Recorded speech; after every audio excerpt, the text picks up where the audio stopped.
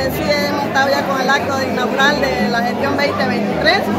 Hoy día ya arrancamos y tenemos también un trabajo de coordinación en cuanto a lo, lo que es la socialización de la currícula 2023 a todos los maestros en el día jueves y viernes que tenemos ese, esa reunión respectiva con los docentes administrativos de servicio.